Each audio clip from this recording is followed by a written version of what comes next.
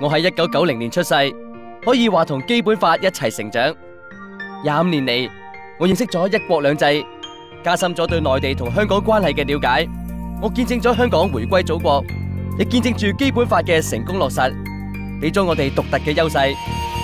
我深信喺基本法嘅保障下香港将会继续繁荣安定迈最更光辉嘅里程而我哋亦会有更美好嘅将来。